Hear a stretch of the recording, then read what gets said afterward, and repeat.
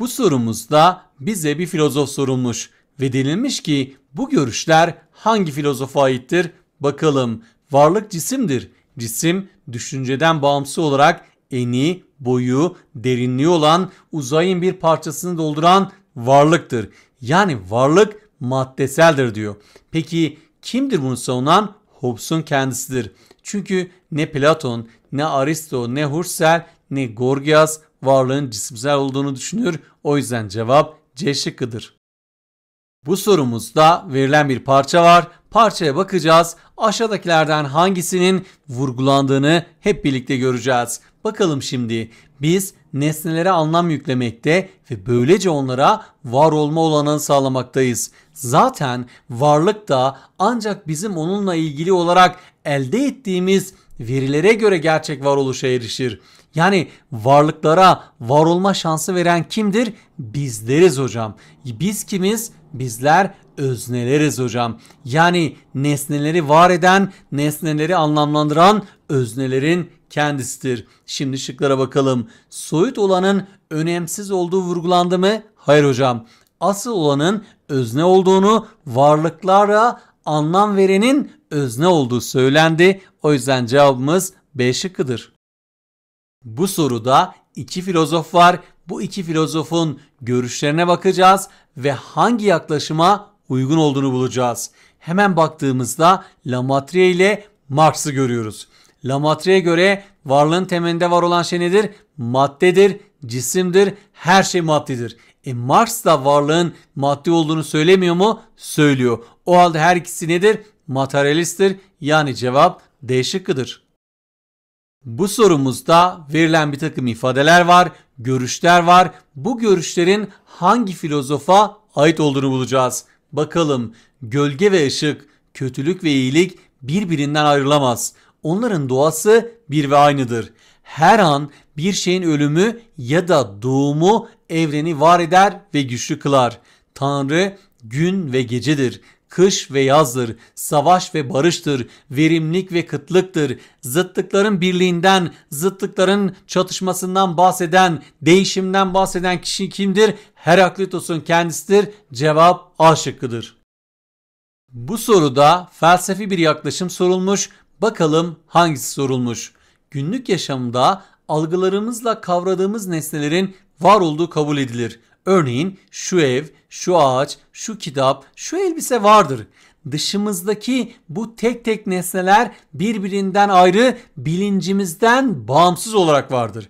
Biz onları algılasak da algılamasak da onlar vardır. Çünkü onlar zihnimize bağımlı değildir, zihnimizden bağımsızdır diyen yaklaşım realizmin kendisidir hocam. Peki hocam monizm nedir? Monizm tekçiliktir. Ele gitsin. İdealizm varlığı düşünceye bağlar. Nihilizm varlığın olmadığını söyler. Dualizm varlığın temelinde hem madde hem de düşünce olduğunu söyler. Ama cevap nedir? E şıkkıdır hocam. Bu soru varlık felsefesinde ele alınan sorularla ilgili bir soru ve diyor ki aşağıdakilerden hangisi varlık felsefesinin sorularından biri değildir? Hemen şıklara bakalım. Evren sonlu mudur ya da değil midir sorusu varlık felsefesinin bir sorusudur. İnsan evrende mutluluğa ulaşabilir mi? Bu mutluluk olsa olsa ahlak felsefesinin bir sorusudur. O yüzden bir kalsın. Varlık nedir? Varlık felsefesinin bir sorusudur.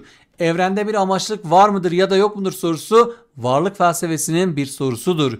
Özneden ayrı bir varlık alanı var mıdır ya da yok mudur? Varlık felsefesinin önemli bir sorusudur. O halde cevap B şıkkıdır.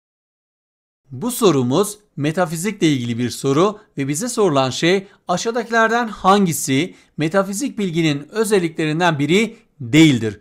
Öncelikle bir metafizin tanımına bakalım. Metafizik dilimizde fizik ötesi olarak ifade edilmektedir. Metafizik bilimin eksik bıraktığı alanları tamamlama çabası gösteren bir felsefe disiplinidir. Bu nedenle metafiziğe doğaüstü bir anlam yüklenmiştir. Şimdi bakalım çözülmemiş sorunlarla ilgileniyor mu? Evet, bilimin eksik bıraktığı, bilimin ilgilenemediği alanlarla ilgilenmektedir.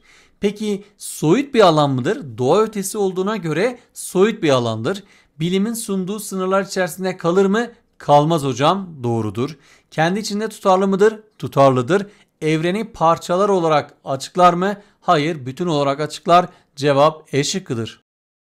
Bu sorumuzda bize bir yaklaşım sorulmuş. Parçaya bakalım hangi akımın, hangi yaklaşımın görüşleri verilmiş. Maddenin varoluş biçimi harekettir. Madde biçim değiştirerek çeşitli varlıkları oluşturur. Başlangıçta sadece fiziksel ve kimyasal değişimler geçiren madde, bakın burada madde, devam ettiğimizde madde, her şey temelinde madde olduğuna göre materyalizmden bahsediyoruz. Cevap D şıkkıdır. İdealizm olsaydı düşünceye bakacaktık. Egzistansiyalizmde varoluşçuluğa bakacağız. Pluralizm birden çok anlamına gelir ki aradığımız bir durum değildir. Dualizmde ise varlığın temelinde hem madde hem düşünce olacaktı. Dolayısıyla cevabımız D şıkkıdır. Bu sorumuzda 3 filozof var ve 3 filozofun ortak varlık görüşünü sormuş. Bakalım şimdi. Platon'a göre varlık nedir? İdeadır. Aristoteles'e göre formdur. Hegel'e göre geist'tir. Peki bu üçüne biz ne diyoruz? Bu filozofları ortak bir akım altında toplayabiliyor muyuz? Evet. Nedir hocam o? İdealizmdir. Peki dikkatimi çeken bir şey var. İdea, form ve geist dediğimiz şey somut olan bir şey midir? Hayır, soyuttur ki idealizm varlığın temelinde düşünceyi görür. Şimdi parçanın şıklarına bakabiliriz. A şıkkı varlığın cisimlerden yani maddeden oluştuğunu söyleyebilir miyiz? Hayır hocam. Varlığın sürekli değişim içinde olduğunu söyleyebilir miyiz? Hayır hocam. Peki kim söyler? Oluşçuluk söyler hocam. Devam edelim. Varlığın soyut olarak düşündüklerini, varlığın soyut olduğunu söyleyebilir miyiz? Söyleyebiliriz hocam. Peki maddenin ruhu oluştuğunu savunurlar mı? Bunu materyalistler savunur, idealistler değil hocam.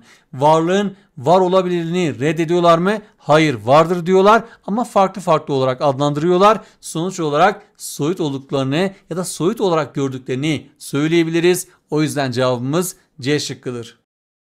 Bu soruda bir filozof sorulmuş. Bakalım parçada hangi filozofun görüşü verilmiş? Varlık madde ve formdan meydana gelir. Form maddede potansiyel olarak vardır. Bu potansiyel bir etkin güç sayesinde ortaya çıkar. Örneğin mermer maddesinde heykel olma gücü potansiyel olarak vardır. Ne zaman sanatçı mermeri alıp ona bir heykel biçimi verirse mermerden heykel denilen bir varlık ortaya çıkar. Varlığı madde ve form öğretisine göre açıklayan ve her maddenin bir formu olduğunu söyleyen ve potansiyel olarak o forma dönüşeceğini, ereksel olarak o forma dönüşeceğini söyleyen kişi, filozof kimdir? Aristoteles'tir. Cevap A şıkkıdır. Bu sorumuz Platon'la ilgili bir soru. Platon'un bu yaklaşımında temel aldığı görüş sorulmuş. Bakalım hangi görüşü temel almış? Platon kendisinden önceki filozoflar gibi tüm değişmelerden, değişimlerden öte mutlak ve değişmez olanı bulmak peşindeydi. Sonunda duyular dünyasının üzerindeki mükemmel fikirleri buldu. Önce at fikri vardı ona göre. Duyular dünyasının tüm atları ise mağaradaki duvarlardaki gölgeler gibi sonradan ortaya çıkmıştır. Yani tavuk da yumurta da tavuk fikrinden ortaya çıkmıştır. Şimdi Platon'u bir hatırlayalım. Platon ne diyordu? İki farklı dünya vardır. Biri duyular dünyasıdır, diğeri idealar dünyasıdır. Her şeyin temeli nerededir? İdealar dünyasındadır. Duyular dünyası idealar dünyasına bakılarak yaratılan bir dünyadır ama gelip geçici ve değişimlerin olduğu bir dünyadır. Şimdi bakalım A şıkkı varlık insan tarafından düşünülmese de var mıdır? Platon'a göre varlığın temeli ideadır, düşüncedir, ele gitsin. Asıl varlık düşüncedir, düşüncededir. Düşüncenin dışında nesnel bir gerçeklik yoktur. Varlık zihinseldir, varlık idadır diyen kişi Platon'dur. Dolayısıyla temel aldığı görüş idanın kendisidir. Peki diğer şıklara bakalım. Varlığın temelinde sınırsız olma var mıdır? Varlık belirsiz midir? Ya da varlıkta değişim olduğunu düşünmek bir yanılgı mıdır? Böyle düşünceleri yok. Cevap net olarak B şıkkıdır. Bu sorumuzda bir parça var ve diyor ki yukarıdaki parça varlığın temel problemlerinden hangisinin sorgulanmasını gerekli kılar bakalım. Gerçek sadece deneyimde vardır. Hem de sadece herkesin kendi deneyiminde. Bu deneyimler bir başkasına nakledildiği an öyküye dönüşür. Olaylardaki gerçeği kesin gerçeği ispatlama olanağı yoktur. Olsa da bundan kaçınmak gerekir. Hayatın gerçekliği konusunu tartışmayı filozoflara bırakmalıyız. Gerçek olan benim şu an denizin kıyısında oturuyor olmam, ay ışığının yansımasını denizin sularında görmem, gerçek olan benim. Varlığın temelinde gerçek olan kimmiş? Öznenin kendisiymiş.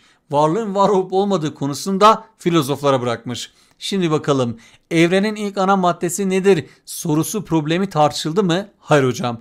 İnsanın bu dünyadaki varoluş amacı nedir tartışıldı mı? Hayır hocam.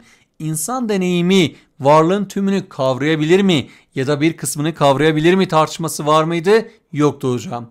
Peki özneden ayrı yani benden ayrı bir varlık alanı var mıdır? Bu tartışma yapıldı mı? Yapıldı. Ve gerçek olanın ben olduğu, öznenin kendisi olduğu söylendi. O yüzden bu tartışma var. Cevap D şıkkı diyelim. E şıkkına da bakalım. Nesnelerden ayrı ideal bir varlık alanı var mıdır yok mudur tartışması yapılmadı. O yüzden cevap D şıkkıdır.